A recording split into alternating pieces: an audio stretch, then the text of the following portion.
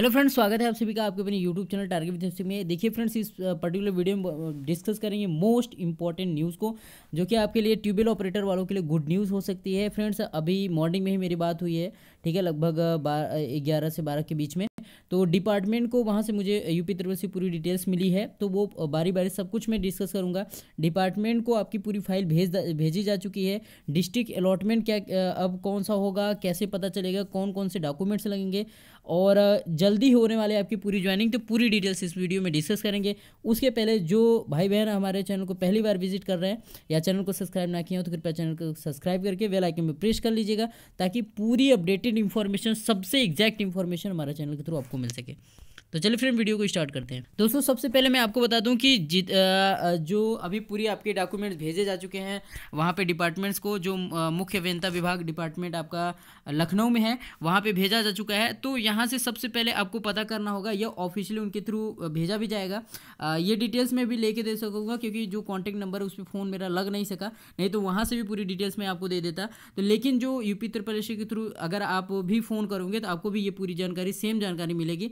तो district allotment होगा। सबसे पहले क्या होगा, जो आपका डिपार्टमेंट कराएगा, वो डिस्ट्रिक्ट अलॉटमेंट कराएगा, चाहे आपको फतेहपुर, इलाहाबाद, चाहे जो भी जो मतलब डिपार्टमेंट मतलब डिस्ट्रिक्ट मिलता है, जहाँ पे उसका हेड ऑफ़िस होगा, वहाँ पर जाके आपको सारी डिटेल्स निकालनी पड़ेगी कि आपके पास में मेरा ये आया है, और पूरी डिटेल्स दिखानी पड़ेगी, ठीक है? तो उसके बाद आपको उसी ज़िले में, जितने भी गवर्नमेंट जितने भी, देखो अलग अलग संभाग होते हैं तो जितने भी गवर्नमेंट आपके ट्यूबल्स होंगे, वहाँ पर आपका प्लेस अलॉटमेंट छोटे छोटे कस्बे कस्बे होंगे टाउन में, जहाँ पे आपका प्लेस अलॉटमेंट होगा। फिर देखो दोस्तों कि यहाँ पे एक, दो, तीन कुछ भी मिल सकता है, क्योंकि नंबर ऑफ़ स्टूडेंट ज़्यादा जा रहे हैं तो ये संख्या कम हो जाएगी, जो ट्यूबवेल मिलने वाली है। तो यहाँ से आपका प्लेस अलॉटमेंट्स होगा, उसके बाद आपका डॉक्यूमेंट्स वेरिफिकेशन होगा। जी हाँ फ्रेंड्स आपका एक बार फिर से डॉक्यूमेंट वेरिफिकेशन होगा। ये डिस्ट्रिक्ट अलॉटमेंट का जो हेड ऑफ़िस होगा, वहाँ पर करवाना पड़ेगा। साथ ही साथ आपको मेडिकल सर्टिफिकेट अभी मैं दिखा रहा हूँ कि क्या क्या लगे। मेडिकल सर्टिफिकेट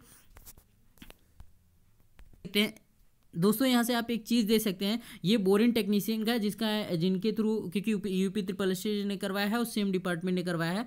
तो यही चीज़ लिखने वाली लगने वाली है। यहाँ से आप देख सकते हैं, ठीक है? शैक्षिक व तकनीकी योग्यता, जन्मतिथि के सत्यापन है हाई स्कूल प्रमाण पत्र की सौ प्रमाणित तो मूल प्रतियाँ ठीक है? जाति प्रमाण पत्र अगर आप आरक्षित कैटेगरी से बिलोंग करते तो ये दिखानी पड़ेगी।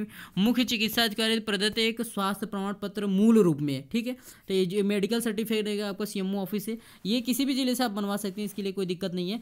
विवाहित होने की स्थिति में ए मतलब जीवित होने का घोषणा पत्र दो राज्य पत्रित अधिकारी से सगे संबंधी जो ना हो छह माह के भीतर का चरित्र प्रमाण पत्र मूल रूप में देना पड़ेगा ठीक है?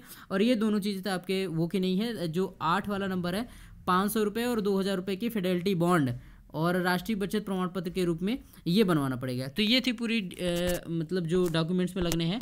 तो ये देख लेते हैं आगे। अब एक इंपॉर्टेंट काम और भी रहेगा कि फ्रेंड्स आपको डेली बेसिस पे कहा जा सकता है आपको वीकली बेसिस पे या पंद्रह दिनों पे कर, किया गया जा सकता है कि ये जो डिस्ट्रिक्ट में आपका हेड ऑफ़िस होगा वहाँ पे रिपोर्ट करना पड़ेगा। ये पूरी चीज़ें। अभी कोई भी क्वेरी हो तो आप कमेंट बॉक्स में हमारे हमारे टाइप करके बता सकते हैं। तो ये पूरी अपडेटेड इन्फॉर्मेशन थी। मैंने कोशिश की कि आपकी पूरी डिटेल्स प्रोवाइड करने की।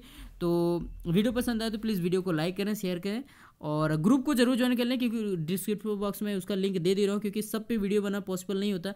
जो भी तुरंत इंस्टेंट इन्फॉर्मेशन होती है, मैं उस पर प्रोवाइड कर देता हूँ। तो ठीक है फ्रेंड वीडियो लास्ट तक देखने के लिए बहुत बहुत धन्यवाद। जय हिंद बंदे मातरम।